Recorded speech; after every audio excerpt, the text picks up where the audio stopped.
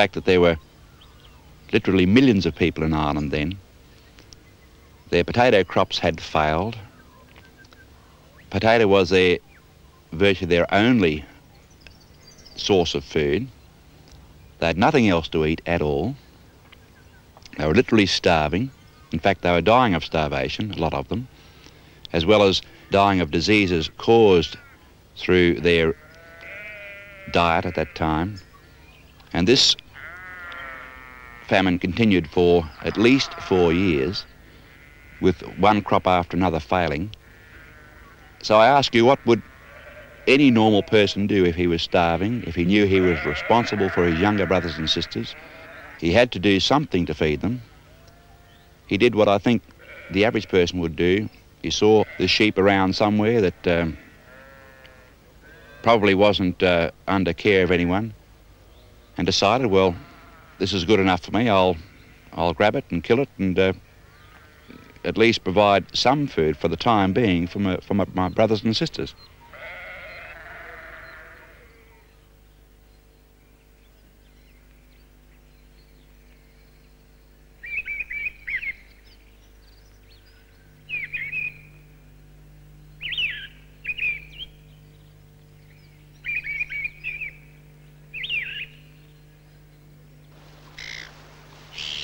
In the reign of Elizabeth I of England, an Act of Parliament was passed that empowered the Privy Council to banish rogues, vagabonds, and sturdy beggars beyond the seas.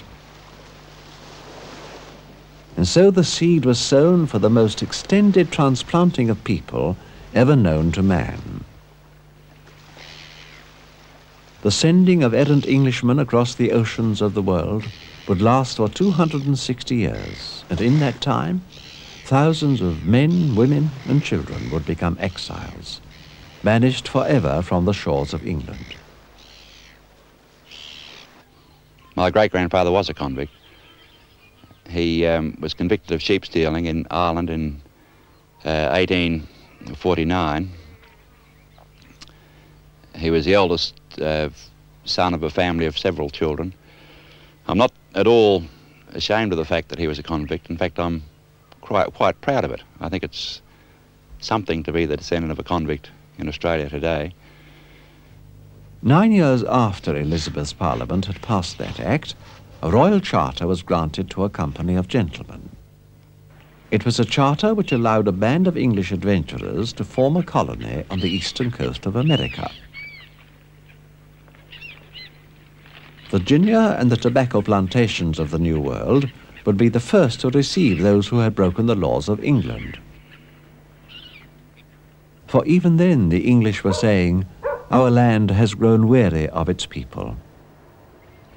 As I just look around me here and think about him and um, how he came here, 16 year old and convicted of robbery with violence, and really ostracised from his family and um, the town people. Eventually, the American colonies would become weary of England. The War of Independence would effectively close the American market for English convicts. The prisons of England spilt over with the unfortunate, the dishonest, the unlucky, and the unscrupulous. And as the prisons choked with this humanity, the overflow was crammed into prison hulks, unseaworthy ships moored in the Thames, floating hellholes.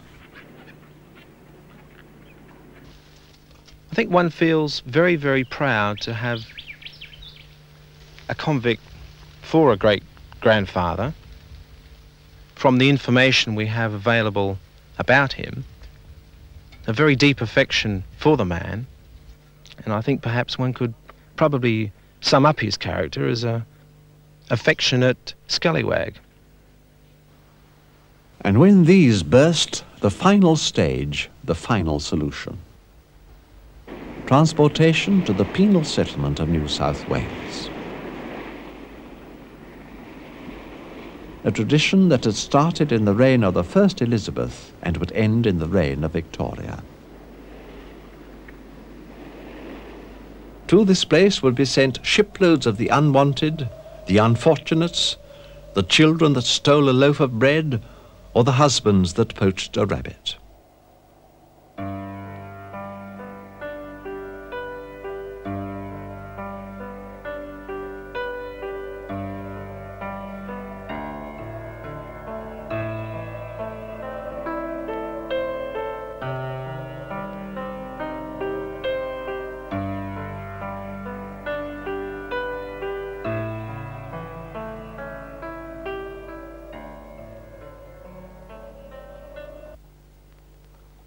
Problem of her criminals continued to haunt the British government.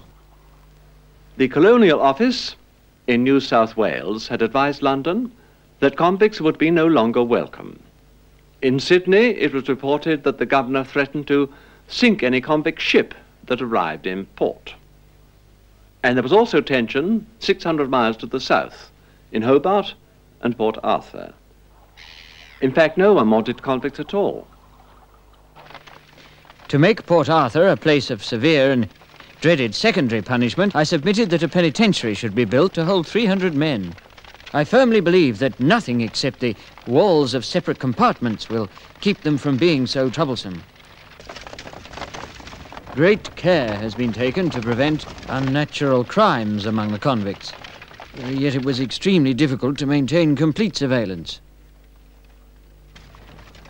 The effect of confinement was quite remarkable, and in a very short time they ceased to be any trouble at all. They became quiet and orderly. By 1846, nearly 30,000 British convicts were languishing in Tasmania, and of these a quarter were unemployed. The British government was forced to stop further shipments until a solution was found. And that solution arrived in the form of a request from the Swan River colony they wanted a penal establishment. Rogues, vagabonds, beggars, convicts. Gentlemen, Frederick. Cheap continual labour, and that can be best supplied by convicts, and have them working away from any settled districts where they'll neither escape nor corrupt others. When they have their freedom, transfer them to some other unoccupied place, but all the time shifting them away from the amenities of social life. Where they labour, they'll die. The only sign that they've even lived will be the structures that they raise in that wild bush. He's right. Now look at this poor, miserable town of Perth. Should it be so except for the want of cheap labour? What we want is cheap labour. Mm. But let me add, I oppose the introduction of female convicts. I wish to protect my family. Male prisoners you can employ outdoors, but females would want to work in the home. One female convict is sufficient to corrupt 50 males. Gentlemen, gentlemen. I've been told from good authority that the majority of convict women are the greatest drunkards, and they never marry. Yeah, yeah. The Bowderners! Many, many convicts are far more moral than most of you here. Many have clashed with the law for stealing perhaps a, a loaf of bread or something to save a dying wife or child. Some have even been convicted of killing a bird. That's the property of all men. You go on and you moralize about our youth in the colony uh, becoming thieves. That's a laugh. They wouldn't make enough in that profession here even to stay alive. Please, please. Gentlemen, gentlemen, it is the opinion of the York farmers that we should send a petition to the Home Government in London. We should tell them that without convict labour, without making this a penal settlement, this colony can never prosper.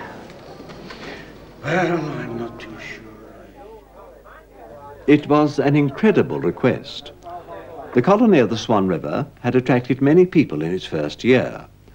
Some had been attracted by its romantic name, others by the false reports of rich soil but many were impressed by the government regulation of 1829 that stated, it is not intended that convicts or other description of prisoner be transported to the new settlement.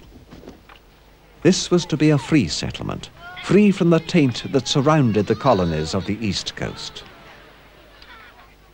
New South Wales and Tasmania could have their penal establishments, but here in the west it would be different. And of course, if the settlers had found the land rich and the soil bountiful, this would have been true. As things in the colony grew worse, various ideas and schemes were considered. One official suggested Chinese coolies be introduced from Singapore as cheap labor. But the best solution was seen in the introduction of English convicts. A public meeting in February 1849 took the final step. An agreement was worked out with these general conditions. 1. All convicts were to be able bodied men under 45 years of age. 2. All to have only half their sentence left to serve. 3. No prisoners from Irish jails. 4. No female prisoners. 5 and no prisoners of a dangerous and reckless class. The terms are really quite clear. The colonials were not afraid to show their prejudice and also their callousness. No females were to be allowed because the colonists felt that should a male and female convict marry, the mixing of two bad bloods would produce criminal offsprings. No, it won't work. They also wanted that half the sentence should have been served in England. This allowed a quicker release of labour for the colony. It has been ordained since the beginning of the world that there should be different denominations and classes of people. It has been ordained since the beginning that there should be masters and servants. It won't work. There's a curse attending this place. Everything goes against it. It's no use trying to get on. If anything does turn up, the government cramps you. They're all fools and imbeciles. Mr. Burges, I was opposed to the convicts coming. I've changed my mind. Now I see our need, I agree. The convicts should be sent.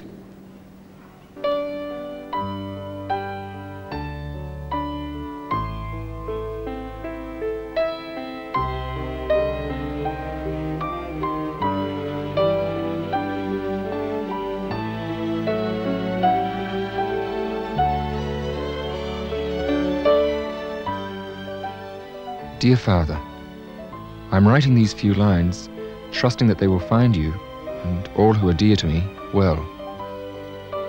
Imagine my surprise when it was intimated to me that I was to be sent out to the colony of Western Australia. I assure you, poor father, that I never felt more annoyed in my life. The Mermaid is a fine-looking, copper-bottomed bark of about 600 tons. There are 200 prisoners aboard. We sleep four together, segregated by a 10-inch board. Our rations consist of breakfast, 10 and a half ounces of biscuits and a pint of gruel, dinner, 8 ounces of salt meat and a pint of thin broth, supper, one pot of tea or chocolate. Smoking is strictly forbidden. All quarrelling is severely punished.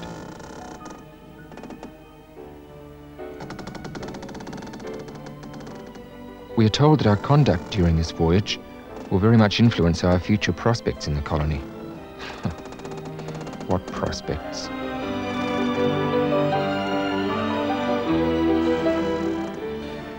The 21st anniversary of poor, worthless Western Australia. Half my life gone, lost, never to return. The only experience you learn here is hardship, slander, and disgusting jealousy. A ship arrived today with 76 convicts under Captain Henderson. I only hope a new colony is in the making.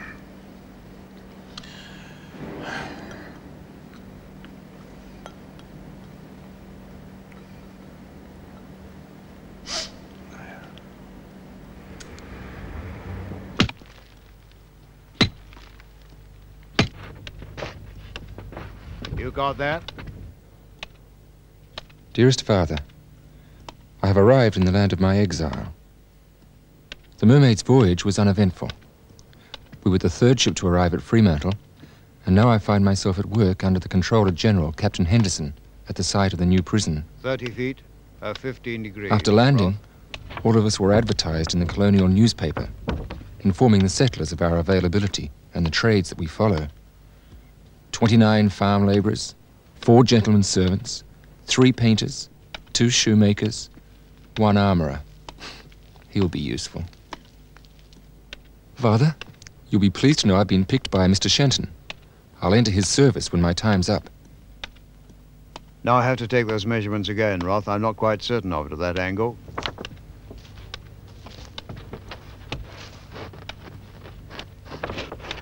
Yes. Make it 30 feet at a 15 degree angle.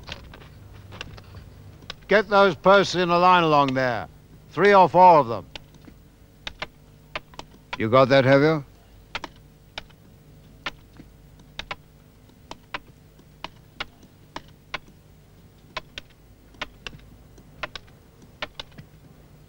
The prejudice on the part of the settlers against the prisoners has generally disappeared. You can have little idea of the opposition because of fear and mistrust from the governor down, with which I've had to put up with in bringing this system into play. I've established depots in various country towns for the men to go on a ticket of leave. I would also like to see the convicts getting a decent rate of pay for their work. As for the colony itself, it's doing well, prospering in a quiet sort of way, without doing anything brilliant. The request for convicts had gone out in a petition from 200 colonists who saw in the introduction of convicts a source of cheap labour. A ready pool of workers for the farming areas, like the new town of York, here in the Avon Valley. What they needed most were labourers and simple shepherds to watch their flocks. Many of these farmers still clung to the dream of becoming English squires on their vast land holdings. They were not at all keen to pay high wages. Ah, good morning, Henry. Any letters? Morning. Just the usual. Dixon wants some pigeonholes sent over to Toodyay. Oh, my God. What else do the aristocrats want today? Sam Burges wants a convict party tour. Build a road to his property. Hmm. How long is the road to be? 18 miles. What? 18 miles. Oh, I'm not buying into that. Tell old Beeswax to sort that out. I'll forward it on to His Excellency. Anything else? Some requests from ticket of leavers for permission to get married. Who are they from? Any bigamists to be? Yes, one. J. Hadley, 1172. Our records show he's been married in England. Ah. Roth, take a letter, will you? Address it to 1172. Ah, with regard to your letter, for permission to marry, I have the honor to inform you that no such permission can be granted, as the records show in the convict register that you are already married in England, etc., etc.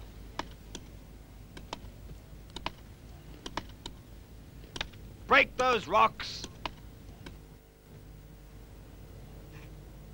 My beloved son, it is not likely I will ever hear you speak again. But if I do, it will be the proudest day of my life. I freely forgive you all the sleepless nights you have caused me, and I truly hope that God will forgive you too. Dearest son, be sober, be steady, and above all, be virtuous.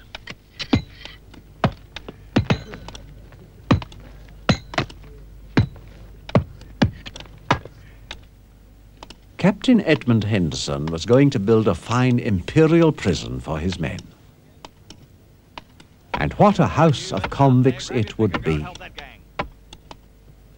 His first plan was a beauty. The site selected within half a mile of the seashore and upon the rising ground immediately in rear of Fremantle is in every way admirably adapted for the purpose as regards salubrity, facility for drainage, supply of water and isolation. The estimated cost, including outbuildings and walls, was £27,270, three shillings and one penny. Henderson submitted it to the governor, who sent it off to London. The reaction was immediate. Nobody had made any allowance to house convicts. Weren't they going to be, well, uh, absorbed into the community or, or something? £27,270, three shillings and one penny? Western where? Western Australia? Poor Captain Henderson.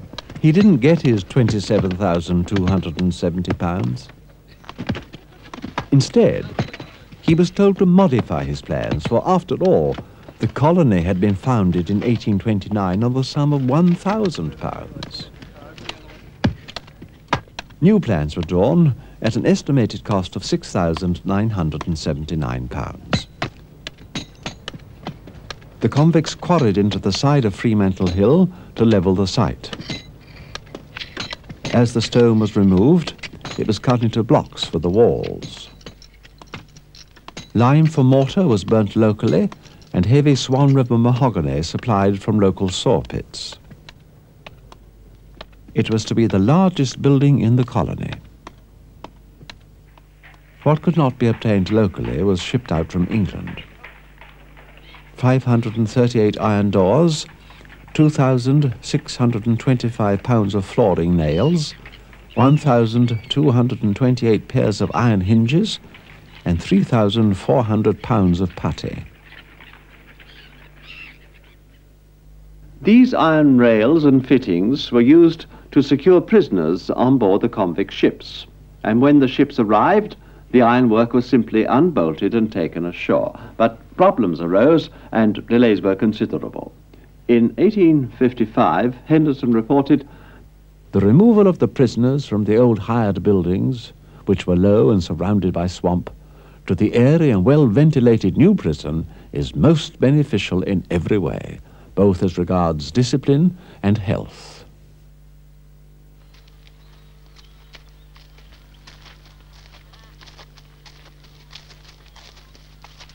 York, Western Australia. Dearest Father, since the date of my last letter, I have been removed to York District.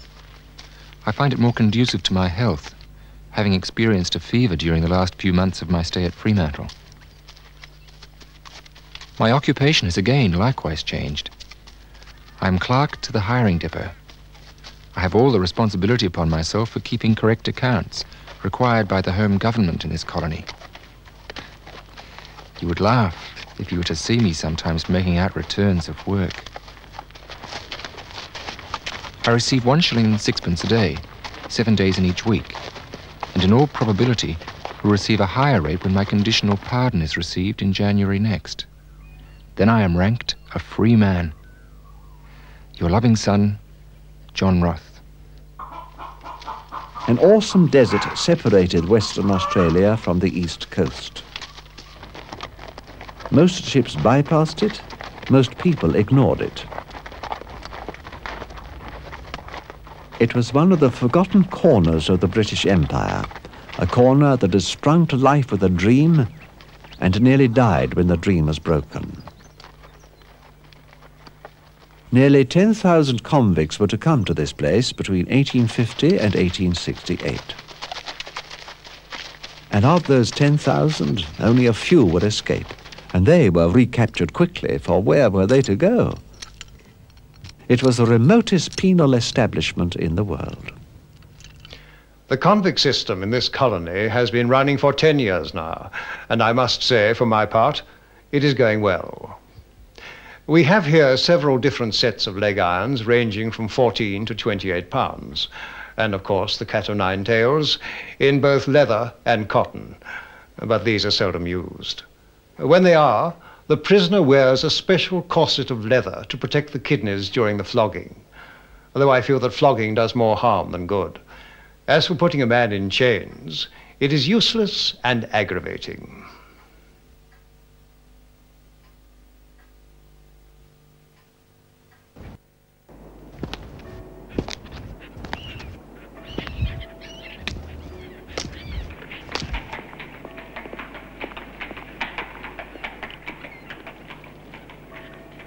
There is now much questioning of the convict system of transportation. We here are now the last place in the world to which they are sent. The other Australian colonies in the east are complaining to London, demanding the stopping of all further shipments. They are saying our pardoned men are invading their settlements. There is also much agitation in England. During my last period of leave there, five years ago, I gave evidence to the House of Lords inquiry. Now, at this very moment, the House of Commons is holding another inquiry. Mr. Burges, you have been for some years in Western Australia as a settler. Since 1829, I was one of the first settlers. You employ convicts yourself? I do.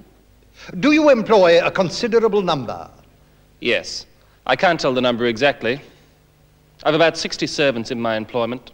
About half of them are or have been convicts. Are you a sheep farmer? Yes. And a horse breeder. And a mine owner?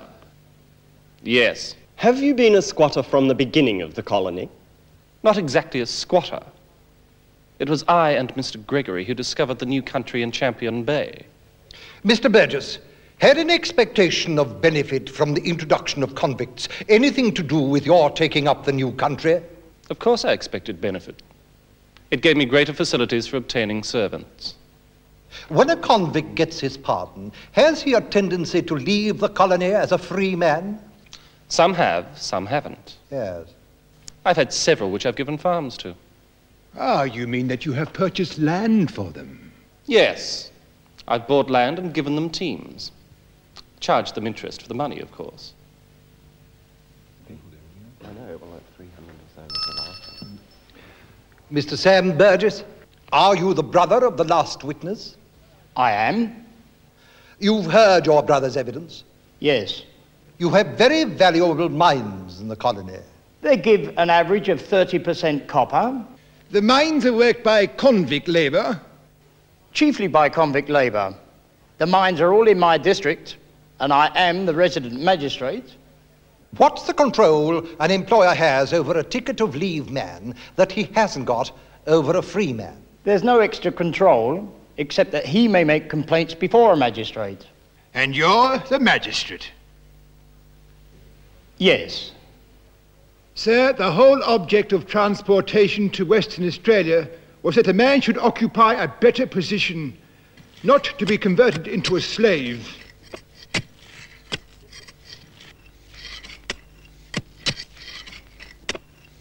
Now's the time, mate. Go. Good luck, mate. Wealthy colonists at this time succeeded in bringing about 10,000 labouring men to Western Australia, but it was estimated at the time that they probably only needed 40 or 50 good labourers. They used up those men during the period of their ticket of leave when they had to pay them relatively little, and after that virtually abandoned them to their fate. There was a, a conflict um, of views of transportation between the settlers and the British back home. That the colonists are only interested in the in the convicts while they are convicts and while they're ticket of leave men. Once they're free men with a conditional pardon, they really don't want to know about them. They're not interested in them as permanent inhabitants of the colony, and they really would rather they left. Ah, Mr. Rowe, I read in one of Captain Henderson's reports uh, that in the year previous, 150 conditional pardon men went from Western Australia uh, to Adelaide, South Australia. Very likely. Then you're willing to take convicts, uh, but you make it a condition that after a certain time those convicts should be at liberty to go away, and in effect that they should go away. No, not at all. Isn't that somewhat inconsistent? On the one hand, you request to receive a certain amount of convict labour to the colony, and then on the other hand, you object to it being there because it might overstock the market. We're not anxious to keep all of the has been convict labour. We've stipulated, as a condition of having convicts here, that there be an equal amount of free emigration. Why? To neutralise the effect of so many convicts. You say you object to conditional pardon men being kept in the colony because it tends to uh, overstock the labour market. But you are waiting for them to get their pardon, then encouraging them to leave the colony. What you are now doing is that you are pumping in 300 men at one end and getting rid of 300 at the other. But, sir, you say that the settler makes no difference between the two classes. Then why go through all this expensive process when one 300 is as good as the other 300? Isn't uh, convict labour now employed in building two government houses? One at Perth and the other at Rottnest Island. Um, houses for the governor. Yes. Do you think it's very undesirable to send out a parcel of lunatics? More than the usual number of prisoners are dying of tuberculosis. Every fresh prison ship brings out many and more or less the same advanced stage. They will all eventually die in this place. Two prisoners have just committed suicide. They were both in solitary confinement. I have seven prisoners under treatment for mental disorders. Another four I've sent to the asylum. I think we have to recognise that the convict period poses a moral question, which was never faced adequately at the time, and which we in modern society still find ourselves unable to come to terms with. In fact, one historian argued 20 years ago that the convicts never needed to be brought to Western Australia at all, that the children of the labouring classes were just about coming of age and entering the workforce anyway, and could easily have supplied the labour that the York colonists said they needed. This is the sort of country outside of York where the, the York farmers originally wanted the convicts to work, clearing the land, uh, making the roads, tending the sheep. Life for the convicts would have been hard work and often extremely lonely shepherding life out in the bush.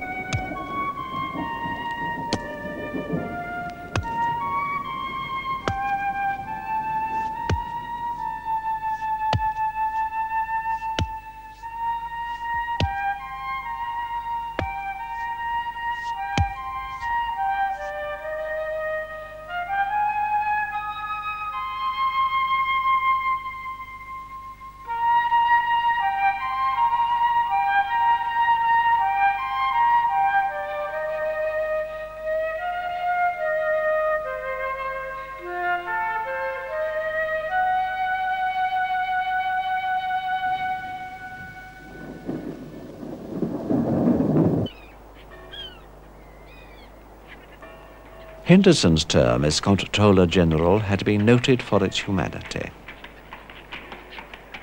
He left the colony after 11 years' service to become Britain's Chairman of Directors and Surveyor General of His Majesty's prisons. He had been firm, but not severe. He did not believe in the practice of flogging and thought that putting men in chains was useless and aggravating. My term here as Comptroller General is coming to a close.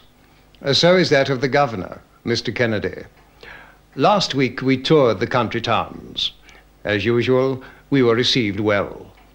At York, we were escorted into the town by a mob of puss-proud aristocrats. They entertained us at the York racetrack. The races there would have cured anyone of a fancy of horses.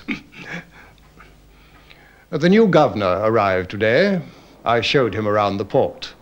Mrs. Hampton won't break any hearts. As for Hampton, he thinks himself every inch a governor. Why is he in confinement without chains? It is modified punishment, Your Excellency.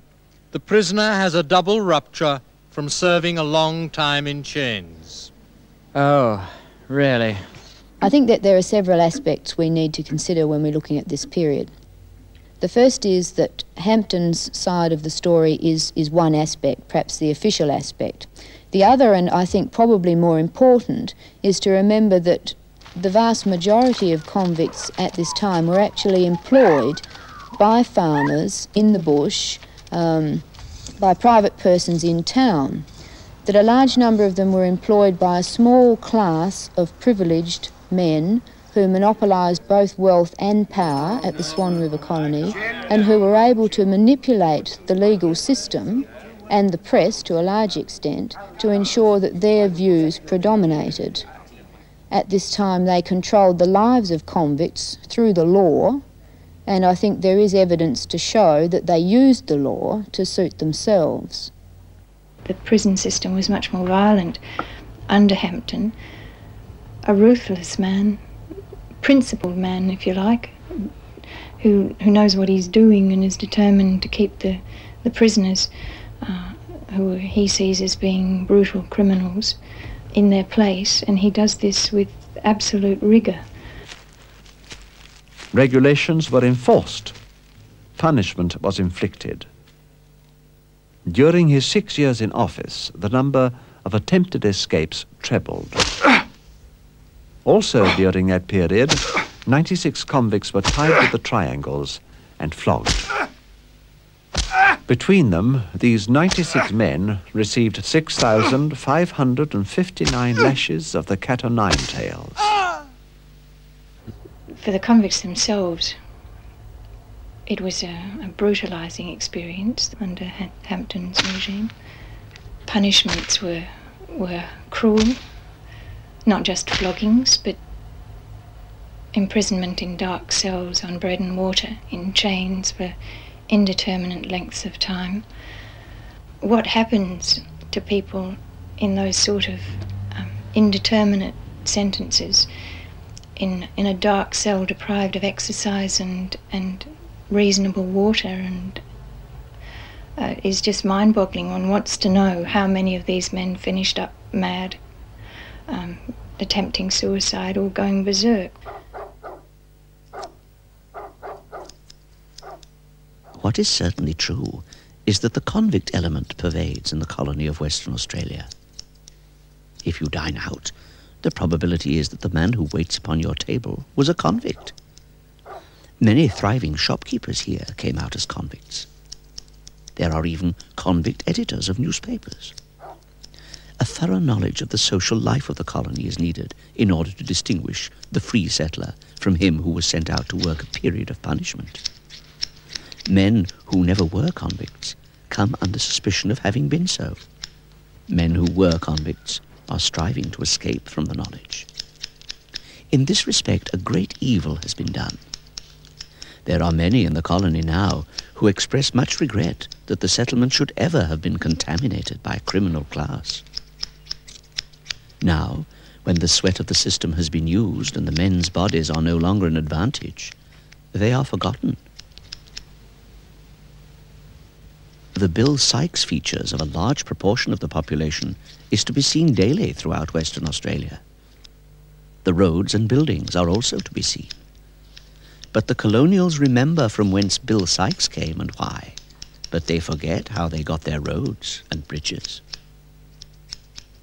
When leaving the colony, I was handed a certificate by the police as I embarked for England.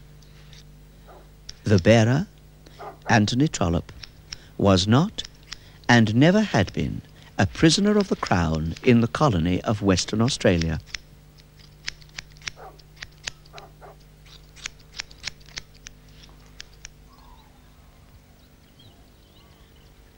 Well, he came as a ticket of leave man and married a 17 year old Irish girl. He then built this cottage from the local material with his own hands, in which to bring his young bride, obviously, and reared his older children here, at the same time working around the area on this property and, uh, and I think other nearby farms with the um, hope of, of um, building up some degree of finance to enable him to establish himself more permanently elsewhere. And you can see by the general design of the cottage that he followed the pattern of building used in his, in his home country of Ireland. I'd say that even the, the general scenery around here at the right time of the year wouldn't be unlike what he'd been used to back home. Amiable arrived on the Lord Raglan, and the cargo was listed as convicts. He stole, or was charged with having stolen, a variety of clothing and other garments from a drapery store on Guernsey Island over a 16 months period. And the items included handkerchiefs, scarves, mahogany needlebox. He was eventually found guilty and charged for these offences and given a 10 year transportation sentence. Well, it's a long way from the Channel Islands to York in Western Australia, and I think that, well, little did the Frenchman realise when he left France at the age of 16 that he would be handpicked by Her Majesty's government to represent the new colony in Western Australia and come and settle and eventually die in York, right here. There aren't very many letters um, or diaries of convicts. Obviously, they're not likely to be the people who are going to keep diaries or write letters. But the, the ones that do exist, um, maybe they're untypical, but they're absolutely heartrending on the whole. Um, letters that spring to mind immediately of a man in a in a hotel room in Guildford, um, writing as a ticket of leave man to his wife and family in England. Desperately lonely letters because he hasn't heard from her and he doesn't know what's happened to them and he doesn't know why she's let him down. And he he writes that he's he's got his violin and, and he needs his sheet music and he wants to know how their little girl is and he's agonizing over why his wife hasn't written to him. And this man seems to spend the rest of his life as a an unskilled labourer around Guildford and just dies never seeing his family again.